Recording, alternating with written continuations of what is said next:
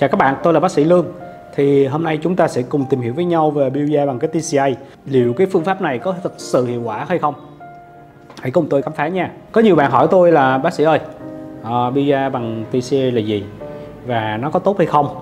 Uhm, rồi ủa sao em nghe nói TCA là dùng trong điều trị sẹo rỗ gì? Còn cái TCA trong điều trị nám thì như thế nào?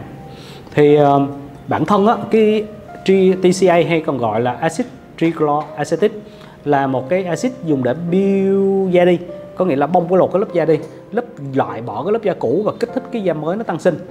Thì um, cách đây khoảng 30 năm TCA build được coi là cái một cái phương pháp mới trong cái điều trị nám da.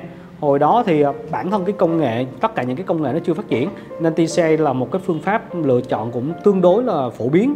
Thì uh, TCA trung bình nó có nó có vài loại nhưng mà thông thường chia ra khoảng uh, nồng độ và hai cái loại chính. Thứ nhất là cái biêu nông sử dụng nồng độ TC thấp khoảng từ 5 đến 8 phần trăm thì bác sĩ sẽ thoa một cái lớp mỏng lên trên bề mặt da.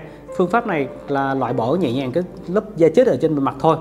Còn cái ờ, bill mà trung bình từ trung bình đến sâu á, thì sử dụng cái nồng độ cao hơn từ 20 cho đến 35 phần trăm và thoa có thể là nhiều lớp hoặc là nhiều bát hơn có thể là từ 2 đến 4 lớp. Thì cái phương pháp này tác động sâu hơn và loại bỏ nhiều cái lớp da hơn của bề mặt rồi cái hiệu quả của TC Build. Với cái bill nông thì TC bill có thể là giúp cái làm cho sáng da giảm nhẹ nám ở một cái số trường hợp. Cái thời gian phục hồi nhanh thì khoảng từ 3 đến 4 ngày thôi da bạn sẽ trông tươi tắn hơn mịn màng hơn. Với điều kiện nha cái nám này là hoặc là những cái sắc tố bề mặt này nó phải nồng nông trên bề mặt da. Đó tuy nhiên bill TC cũng một số hạn chế. Với những cái bill sâu cái uh, mạnh hơn á, thì cái nguy cơ da bị kích ứng nè đỏ nè thậm chí là tăng sắc tố sâu viêm là khá cao. Um, đặc biệt là với những cái bạn có làn da tối màu nhất là những người châu Á người Việt Nam mình điều này có thể làm cho cái tình trạng nắng nam nắng da nám nặng hơn nhiều. Thì uh, hiện tại chúng ta có phải nhiều phương pháp mới hơn? Ví dụ như sản phẩm của Medicos hoặc là của kem những cái kem trị nám của Rep Skin là những cái uh, hay là chúng ta có thể là sử dụng những cái bill mà nhẹ nhàng hơn ví dụ như là của email chẳng hạn. Những cái phương pháp này thì nhẹ nhàng hơn ít gây kích ứng và hiệu quả cao hơn trong điều trị nám.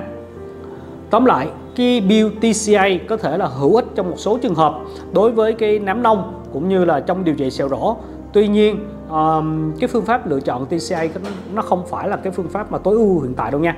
Nếu mà các bạn có suy nghĩ về cái phương pháp này thì hãy có gặp trực tiếp bác sĩ để được khám và tư vấn thì um, tôi là tôi luôn sẵn sàng mà tư vấn hỗ trợ và cho các bạn.